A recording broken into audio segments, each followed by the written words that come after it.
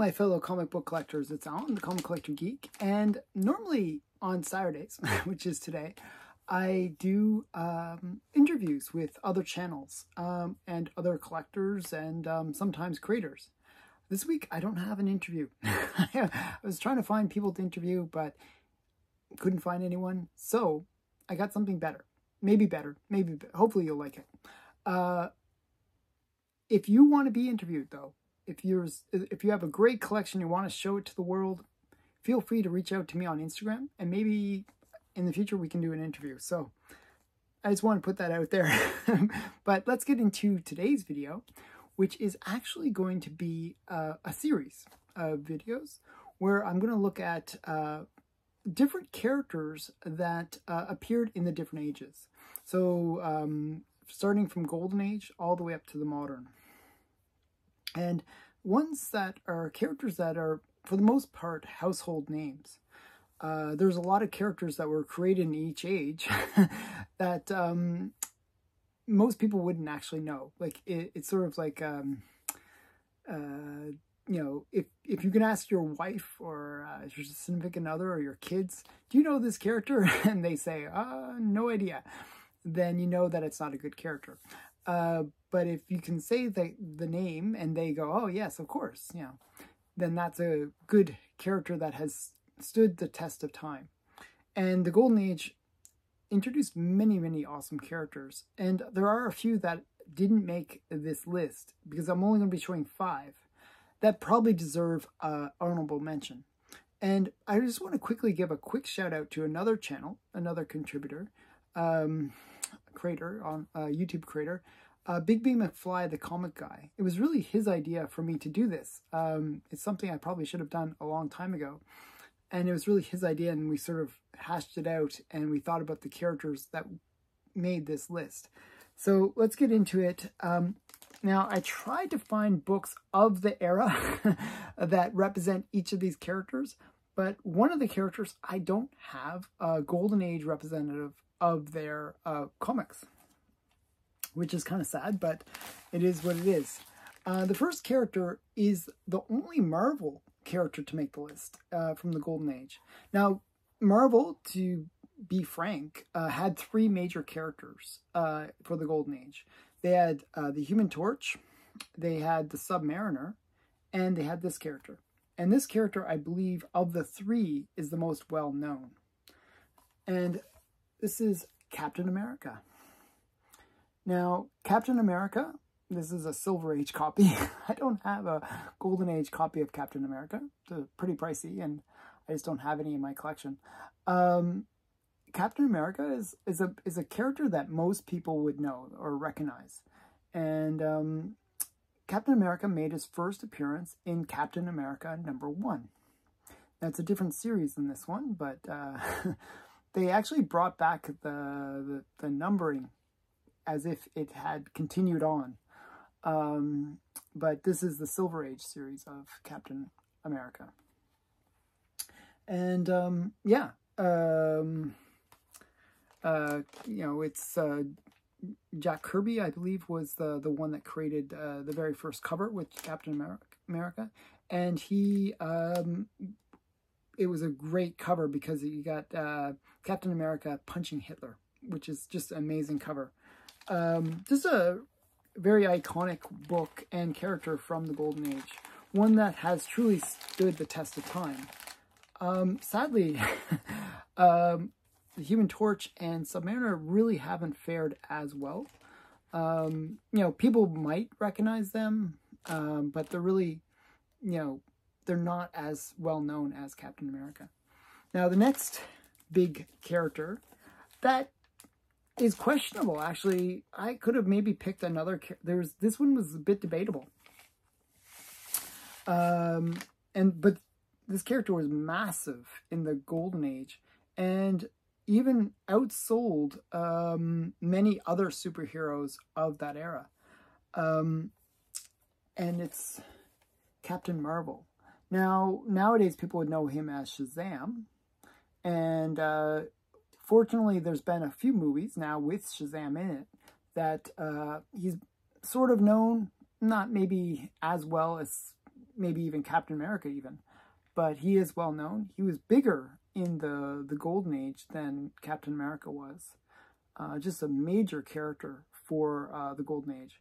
Um, he was most commonly created by, uh, or most commonly drawn by um, C.C. Beck. And uh, he made his first appearance in Whiz Comics number one, kind of.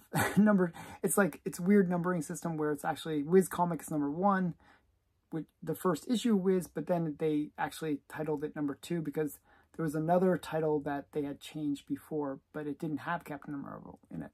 I know confusing, but uh, Whiz Comics is where uh, Captain Marvel made his first appearance. And the cover um, that was used was very similar to that of Superman's first cover. and um, there was actually a lawsuit that existed because of the similarities between uh, the Captain Marvel character and Superman. And eventually, actually, uh, Fawcett, which produced uh, Captain Marvel lost and actually had to uh, basically they went out of they folded uh, their business uh, as a result of losing the lawsuit. But uh, during the golden age, uh, Shazam, as we know him now, or Captain Marvel, was a massive character, very very popular, massive print runs. They would have typically anywhere from a million to a million five printings of each of the books. Just a massive character, very popular. Um, so this is actually Captain Marvel's second appearance in comics. Uh, and um, this is Whiz Comics number three. And they actually, as I said, they denote it kind of interesting way. So you see Whiz Comics number three, bracket number two. this is actually the second Whiz Comics. Uh, just an interesting book uh, and interesting character. You know, the cool thing about Shazam, and what I really think that makes him different than Superman, is the fact that, you know, he's Billy Batson as his normal persona, and he has to say the word Shazam to become Captain Marvel. And that kind of, to me, I thought that was always a great thing because as a as a kid, you know, the idea of becoming a superhero is such a, you know, uh, a, you know, creative thing and interesting thing to kids, especially um, that, oh, if I could just say the magic word, then I could become a superhero. I could, you know, there's such appeal there. Uh, whereas Superman, you know, he he was of another planet. He's like a little bit more distant. You know, it's more like somebody you can aspire to, you know, becoming, but but not actually even dream of becoming. So different different kind of character. Um, that's why he's number four on my list, but he is a definitely a major character and definitely one that uh, people um, know for the for the golden age. I'm gonna at the end of this, like once I tell my top five, I'm gonna actually go mention a few honorable mentions that didn't make the list. So I kind of want to save those for the end, which is weird. I know. Usually you do the honorable mentions first, but I'm going to do them last. The next character is, and the rest are actually all DC characters. And DC really did dominate for the superheroes uh, uh, and the creation of superheroes in the Golden Age. Um, and really, it was their characters that led to the Golden Age. Now, one of their characters that was designed um, to appeal to girls and not just appeal to girls, but appeal to everybody, actually had mass appeal, was Wonder Woman. And this is Wonder Woman number one. It's not her first appearance. Her first appearance is actually in All-Star Comics number one. Uh, number eight. number eight. All-Star Comics number eight.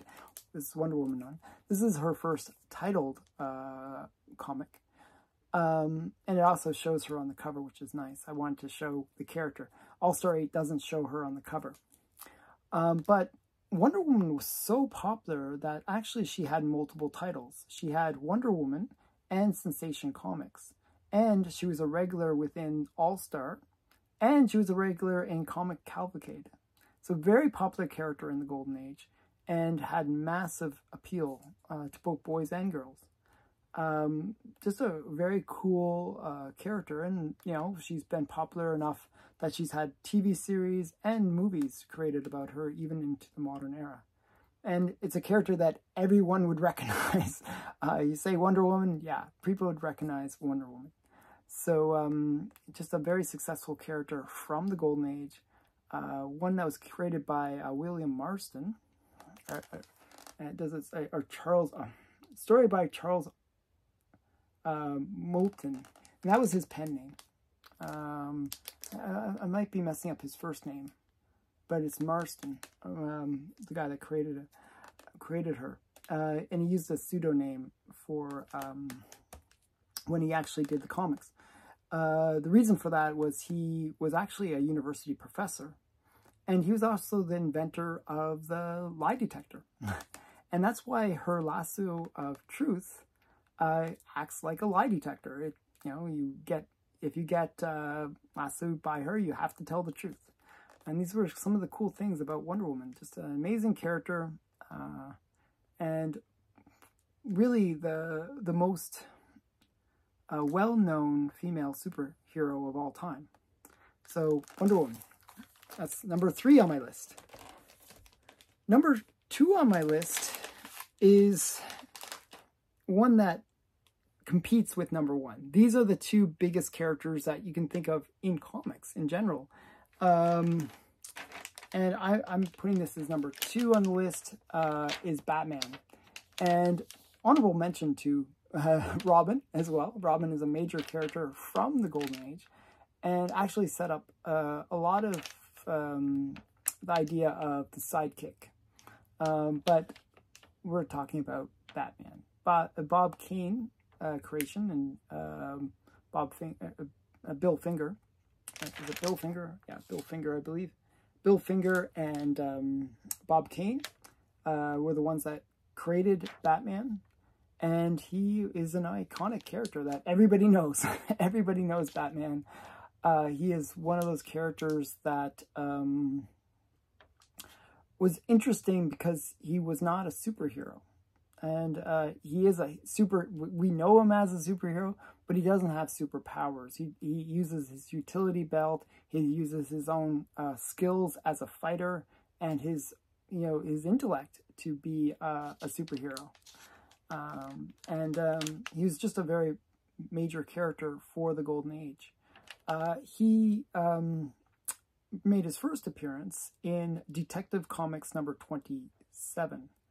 Um, this is Detective Comics 38, so it's a later appearance, but not that much later. Um, and um, yeah, it's just a classic, classic character and classic, classic book. Um, so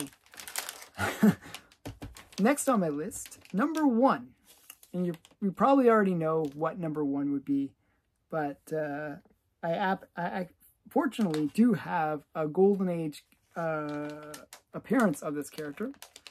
And we got Superman. And really, Superman is two characters in one because he's Superman and Clark Kent. He's kind of a little bit of both. Uh, you know, it's the he's Superman when he's being himself, and he's Clark Kent when he's hiding who he really is. Which was I, always thought that was cool. Uh, Superman made his first appearance in Action Comics. He was uh, the brainchild of uh, Joe Shuster and um, and um, oh, what's his name? Why am I forgetting? Um, oh, why am I? Uh, okay, Joe Shuster. Uh, the, he's Canadian actually. Uh, but yeah, Superman is one of those major characters uh, for the Golden Age. He is the character that launched the Golden Age. Action 1 is usually what people denote as being the beginning of the Golden Age because he really changed how comics were created and the intent behind them. Up till uh, Superman, uh, really comics were just um, reprints of uh, the news strips. And Superman was actually a character that was really created uh, for comics um, and really launched the idea of the superhero as being um, a major um, a major player in um, you know uh, what kids would read. Uh, so yeah, Superman is a massive one. Um, and the funny thing is, uh, I believe Action Comics 1 had like almost a million printing. It was, it was a massively uh, printed book. Sadly, not many survived. Um, through the burnings, the paper drives, and all these kind of things, um, it uh, didn't survive. Um, oh, Wayne. okay, I'm just going to go through names until I get it. Okay. Um, but uh, yeah, um, the interesting thing was uh, it was created back in 1938, and that represents the beginning of the Golden Age. So Superman number one uh, was, uh, you know, the first real superhero, and you know, believe it or not, there's actually earlier superheroes. Uh, the Phantom is actually the first superhero, uh, but he actually appeared in the gold, uh, the Platinum Age.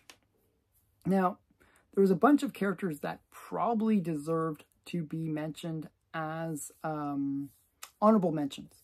And those would be like a lot of DC characters. Pretty much the Justice League um, were characters that people would still recognize to, to, to this day. Like the Green Lantern, Aquaman, uh, Flash. All major characters that people would still recognize to this day. Now, in this video, I only focused on the good guys. Now, in a future video, I will do the Golden Age bad boys and bad girls, and uh, we will talk about that in the next video. So I hope you enjoyed this top 10, or top 5, I should say, top 5 um, su superheroes of the Golden Age that are still with us today and are major influences in uh, comics and in society in general. So I hope you enjoyed that uh, video, and if you if you can help me remember, you can put it in the comments, and I'll be like, oh, what was I thinking? Um, uh, the two people that created uh, uh, Superman, uh, and it's going to drive me crazy, Joe Shuster and it's like why why am I forgetting this? So yeah, so it's one of those things. It's one of those days. Uh, put it in the comments below. See, this will be part of the trivia. I'll pretend, oh yes, I, I, well, I do know, I do know, I just blanking on it for some reason. But it's part of the trivia and makes it more interesting that you guys can play along and tell me how dumb I am for forgetting. Uh, put it in the comments below. And uh, thanks again for watching. Bye for now.